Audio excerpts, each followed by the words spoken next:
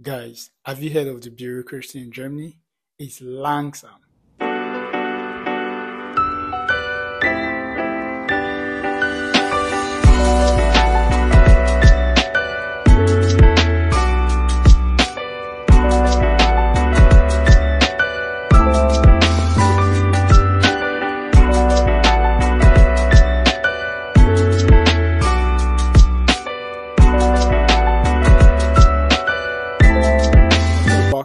YouTube channel. My name is Evalsam Etta, aka Sammy Sticks, aka that hot chocolate. Okay, if this is your first time of dropping by my channel, do well to subscribe. Shouldn't be your last. Turn on that post notification bell to get more updates on when I post new videos. And for all returning subscribers, you mean a lot to me. You guys are the real G. Thanks so much. I really appreciate. So in my last video, I got lots of engagement, you know, and some persons who commented talked about the audio not being, you know, clear enough or rather audible. I don't know. I just want to say thank you to you guys because that's what makes this channel grow. I mean, I would have continued shooting without knowing that my audio wasn't audible enough. But you guys, you know, talked about it in the comment and I feel it should be better now. Thank you guys. I really do appreciate. On today's video, we'll be talking about settling in Germany. You know, settling in Germany. I, guess you guys watched my previous video and that was um, what you should do before, you know, coming to Germany. Now you're in Germany. Willkommen in Deutschland. Now there are certain things you need to do you know, on arrival in Germany. Without much further ado, let's get right into this video.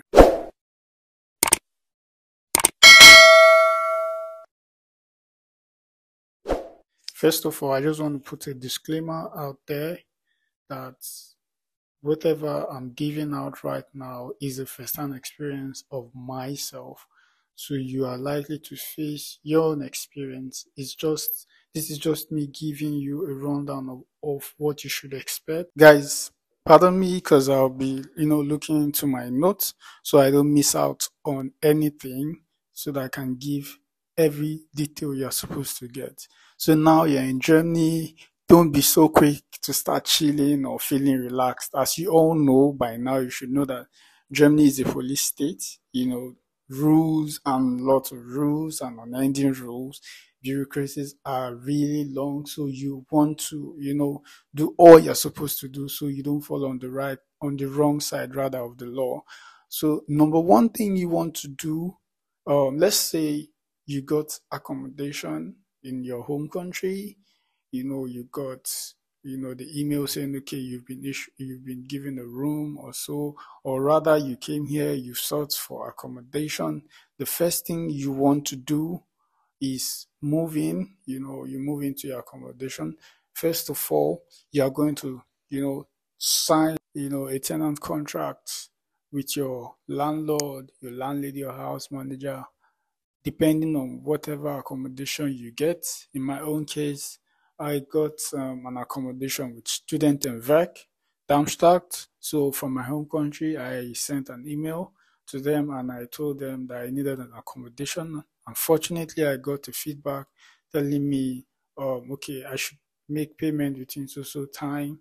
You know, there's an um, accommodation in one of the dorms, you know, in Darmstadt, of which I made payment. And when I came here, my contract was from the 1st of June, you know, which I signed the contract and a document was given to me. It's called Wohnungsgeberbestätigung.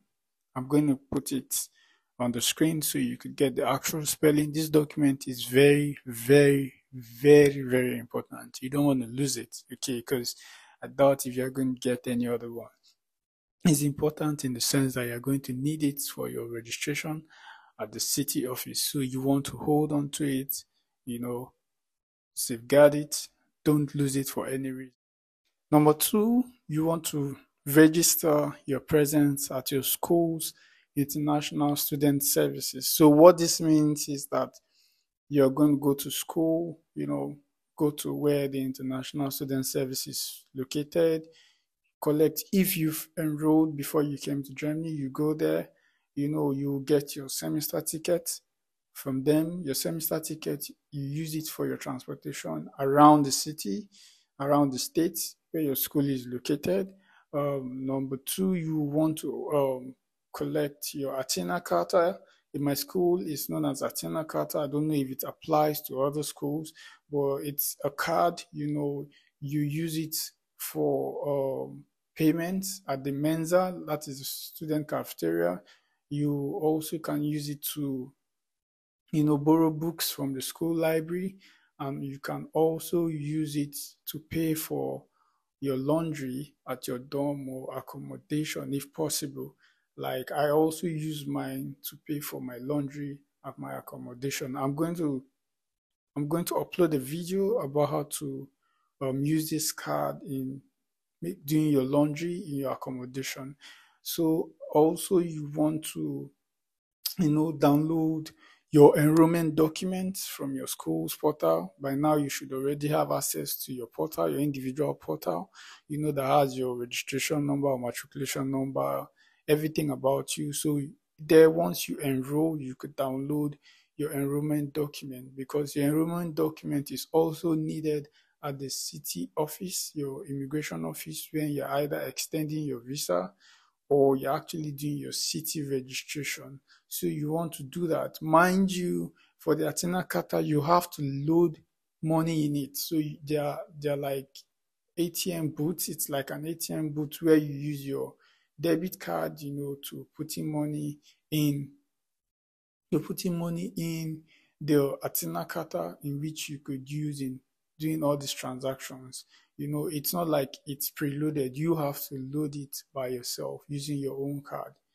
So that is that about the Athene-Karte and about registering your presence in your school. So number three is getting the SIM card. You need a German SIM card because you can't use your local card. Yeah, I know you could use your local number here via uh, WhatsApp and all that, but you need a German number for to be able to, you know, call um, within EU and in and in Germany, you know. So you have to get a German number. Uh, you have lots and lots of networks, you know, in Germany. For me, I use uh, O2. It's one of, if not the best, in Germany with good networks and data plans. Um, so on the day I went to uh, the city center, I think at Luisenplatz, I went to one of their offices and I got a package from them. Guys, note, for no reason should you take any contract. What you should do is a prepared, prepaid plan. English. A prepared plan. Take a prepared plan, you know, and I'm just going to show you all I got from O2 when I signed up with them. So I got this pack from O2.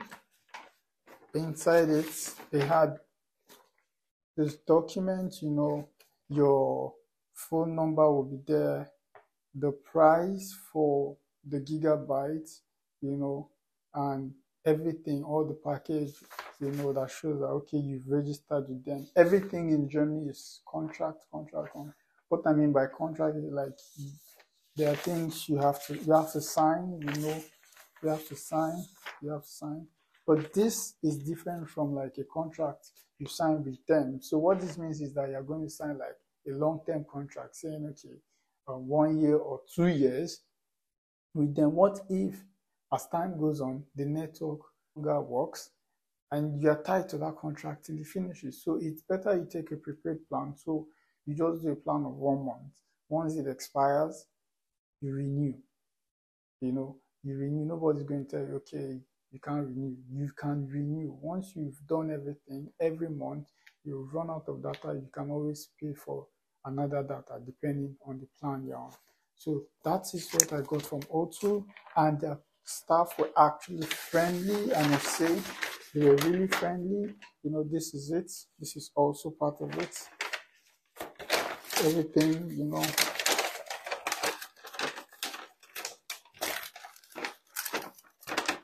This is the SIM pack, You get you get a nano and also a micro SIM as well. So that is that about the SIM the SIM card. So number four, you are to take appointment at the city office, that's the immigration office.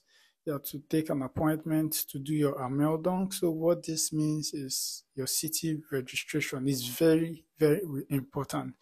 Without doing this or without having the document from the city registration, you can't do anything in Germany. Like this is tied to a lot of things. You can't do it and you have a limited time to do it once you enter Germany. And if you don't do it, there are certain sanctions. You could even be deported. It's that serious. So you have a limited time according to the city office in your city to do your city registration. And the document you need to do this is your passport and your house document. The document I mentioned earlier on, your house document.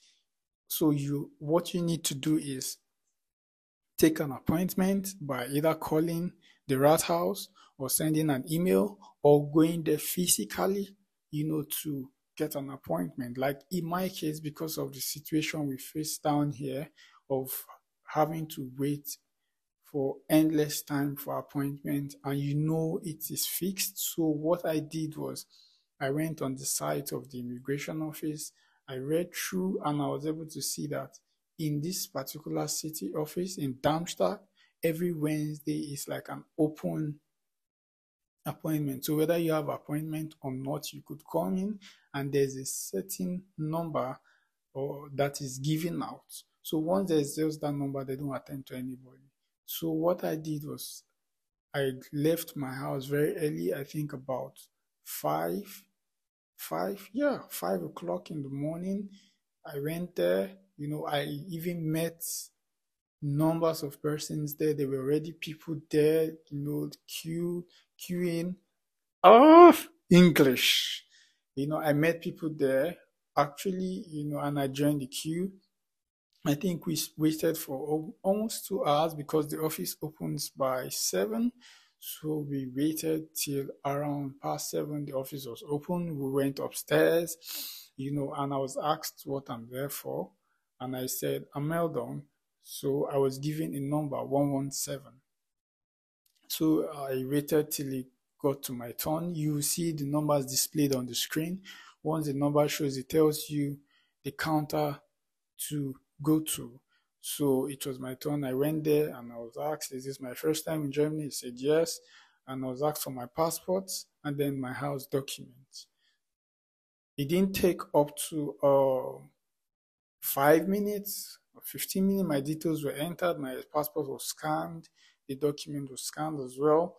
You know, and I was asked to check on the other monitor to see if my details are correct, of which I I told them, yes, my details are correct, and everything was done swiftly, and I was given my document. And the staff was so kind. You know, she asked me, do I understand German? I said, um, my German is not really good. I'm still trying to brush it here and there. I just told her, yeah, she was like, okay, it's fine. We could do it in English. And she was kind, you know, all through the sessions, you know, and in less than five, ten minutes, I was done. I got the document. This is what it looks like. This document that you see looking so simple is very important because without this document, I'm still going to talk about opening a bank account. You can't open a bank account. You can't do anything. You can't process your tax ID. You can't process social security number. You can't even work or do anything without so just document. in case you're wondering, what is the name of this document? The name of this document is called Meldebestätigung. Meldebestätigung. So I'm going to leave the link. I'm going, sorry, the spelling so you could actually get it in case you see it as a requirement in whatever you're processing. This is what they are talking about. Meldebestätigung. So finally, guys, that's the document. I got it. You know, it didn't take up to like five, ten minutes with the immigration officer. You know guys this document is really important. You don't want to lose it for anything. Those in germany should already know what i'm emphasizing on this five you open a bank account. So here here's the case. We opening a bank account in germany you need your passport you need your Meldebestätigung, you need your house document you know to open a bank account so it is advisable to open a, phys- a bank account that has a fiscal branch, you know, like the trad- traditional banking. Mind you, you could also open an online account. An online account doesn't require you having uh, having to submit your Anmeldung, that is your city registration document. You don't need to do this. All you need to do is your upload your passport and then the visa, and in like less than 10 30 minutes your account to be set. But this could be used as as your second account. You could see online banks such as vivid n26 um, what's it called? Uh, revolut which is the one i use. I use it as my second account. But opening a fiscal um, a bank with a branch in your city um, is recommended as your first account so that you could use that as also your salary account or receiving your money. Could be your blocked account. It could be your salary if you are working. So like the document i've mentioned those are what you need to open the bank account. So you are going to get a link where you go on the bank's website. You fill in your your details your name your address your phone number and everything. And a number will be um, will be generated for you and the forms some forms will be sent to your email address. You are going to print out those forms and take to the bank of which you want to open like the fiscal bank. So they have like Sparkasse they have like Commerzbank they have like deutsche bank you know etc etc i use Commerzbank you know so you take it to them. They'll process it and open the account, you receive a message, an email saying, okay, your current account, which is called is, is known as Girokonto, has been opened and is ready for use. You know, you also get um, a credit card and also a debit card. So your credit card and your debit card. So, but you're not getting this immediately, mind you. This is why I say the process in Germany is really long. Like you need to wait. They still believe in like receiving mails in post. You know, you know, in some other countries you could get everything ASAP that same day you're processing. But here you have to wait. You've gone to the bank, you've done the processes. It's going to take like days upon days upon days, you know, to get. I have letters upon letters from the bank. You know, every day I receive one thing or the other since I opened the bank. So like you'll be told, okay, your account has been opened you can go. You will get the IBAN in the document sent to you. So the first letter will be your, I think your PIN, uh, your PIN, yes. And then another letter will be sent, you know, as your, in, for my bank, they have like an app uh, where you could confirm all your transactions. This is different from the the banking app itself. So whatever transaction you are doing on the banking app, you need to confirm it on this other app, you know, which for me, I think is good for security reasons. And then they'll also send you your credit card different with its PIN. They'll also send you your debit card different as well with its PIN. They're also going to send you your login details in a different email and also send you the pin in a different in, in a different mail sorry not email.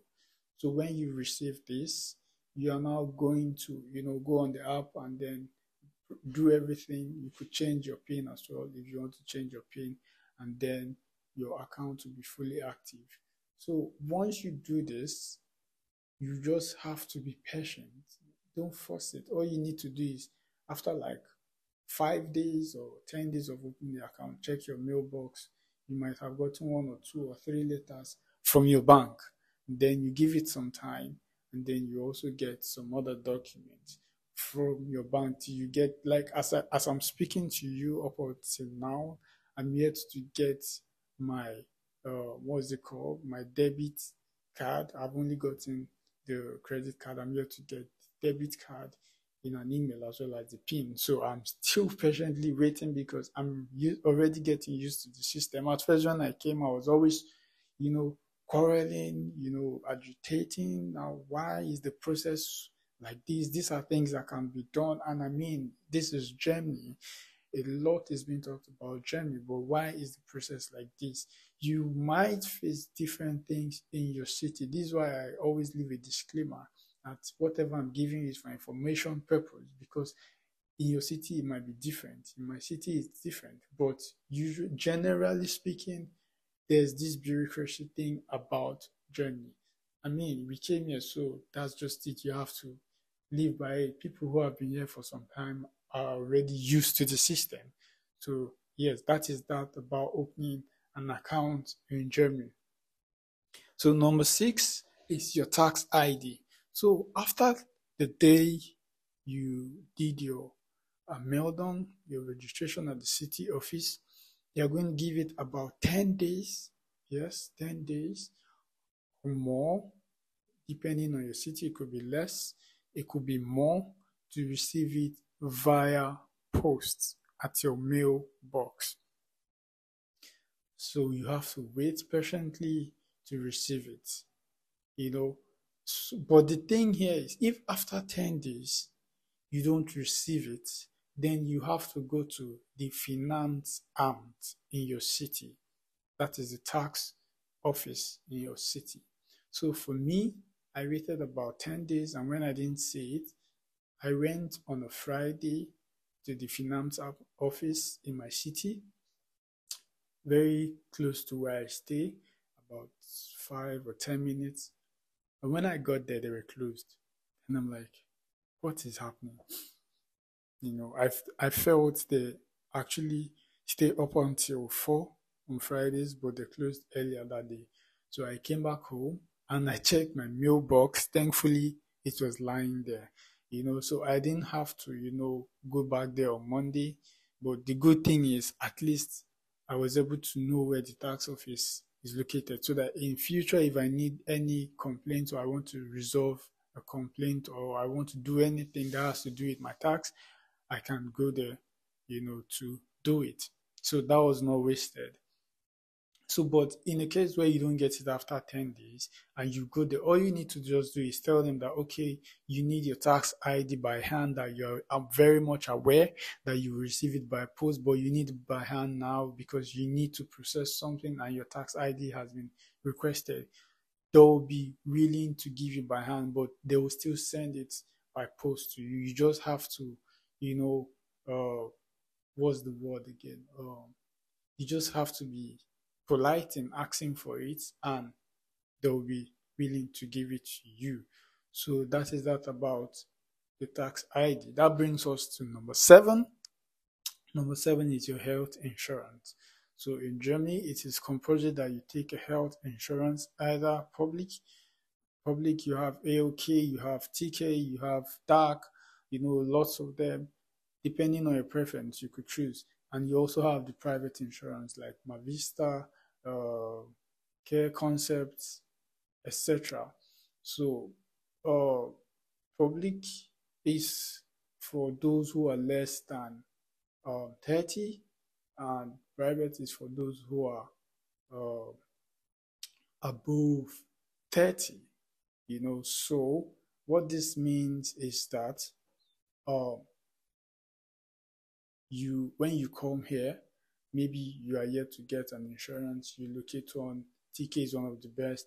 You could take TK, you know, though you go to their office, you submit your bank details where they can be withdrawing the monthly deduction from every month through SEPA. SEPA is like uh, like you giving an authorization of them debiting you every month. So you submit your German address as well you submit your insurance card, and I think you also submit your city registration as well to show your actual address.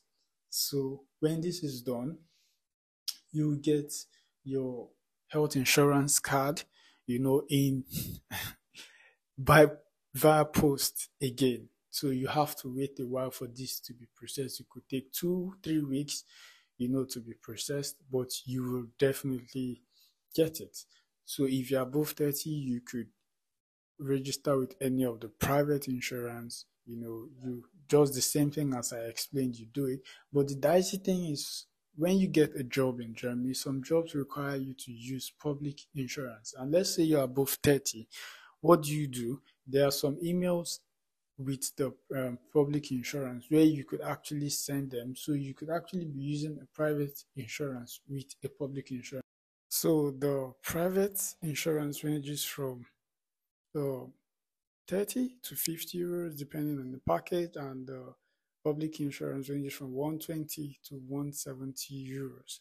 So note guys, you could get the social security number processed at the social amt. I'm going to leave the the name on the screen so you could see it. You could go to the any social arms in your city in your city here and ask for a social security number and it to be processed and sent to you via post.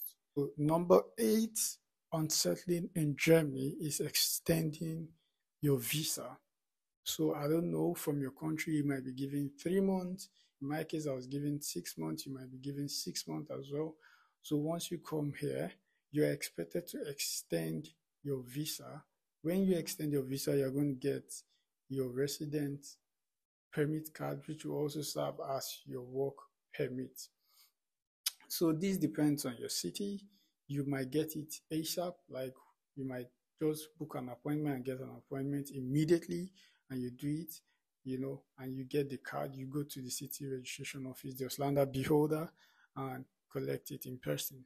But it depends on the city again, like I said. In my own case, till now, I'm still waiting. I went to the Ausländerbehörde and I was told that I have to wait three months to the expiration of my um, visa. I should come to the office and book an appointment and come for it to be extended.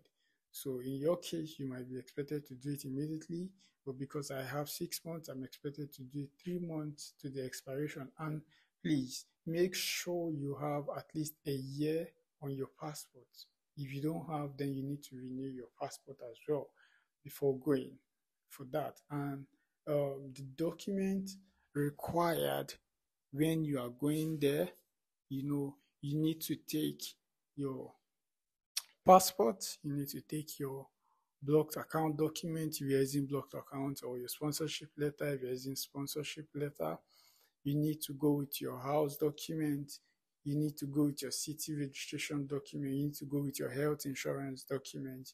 You know, you need to go with your tax ID. Everything you've got in your document, you need to take it there and then it will be processed. You might be asked one or two questions and then on a later date you get an email that it's ready for pickup so you have to come to the office to pick it up you know. So just so you know for that of the blocked account like i've asked questions little research i've done the blocked account you get an extension of one year you know and then for the sponsorship you get an extension of two years.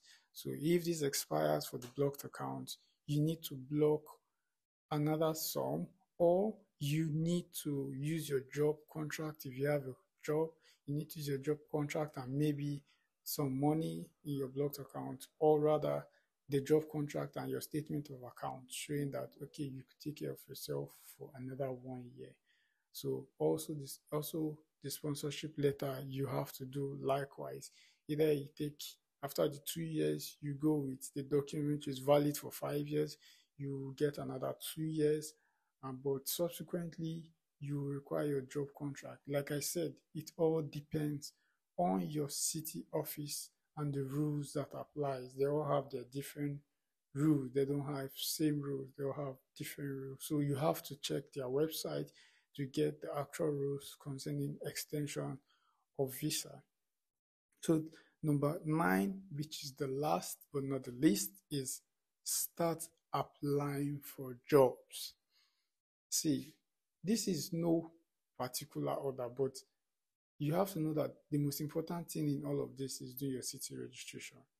So you could do this however you want to do it, you know. So you could even like as I'm talking to you, I got a job because my extension will be like uh in, like six months time, you know. So I got a job and my visa is used as my work permit, which permit me to also work in Germany. So you have to start applying for jobs, you know, so that you could cater for you. Yeah, you have your blocked account, you have your sponsorship, but I mean, that bad you you need that what's it called? That baby girl treatment. You need that baby boy treatment you know. You want to have your own money you know. Money is never enough you know. So you have to work so that you don't be idle. So you, some people prefer just to you know go to school don't get me wrong if you can school and work fine. If you want to just school all through no problems. It's your preference right? There is no such rule saying you must work. If you don't want to work you don't work. If you want to work you work.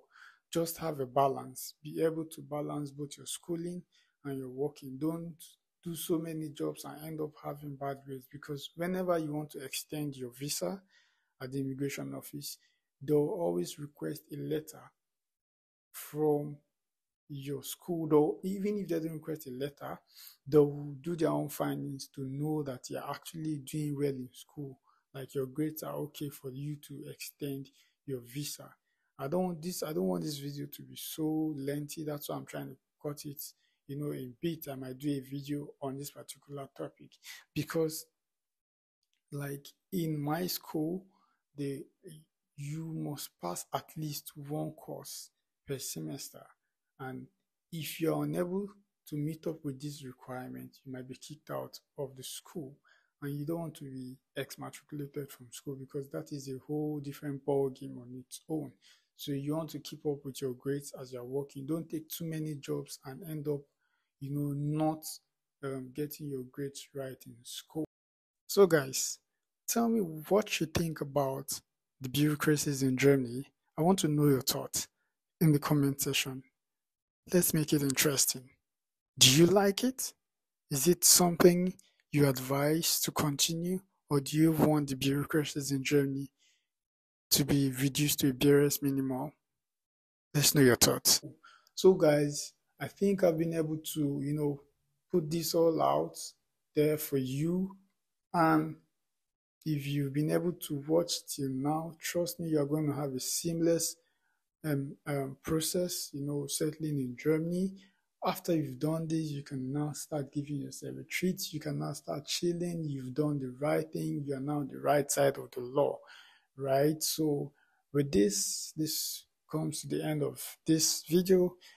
Do well to subscribe, leave those beautiful comments, push the thumbs up button, turn off the post notification bell to get updates on videos I'll be posting. And until the next one, I love you guys. Bye.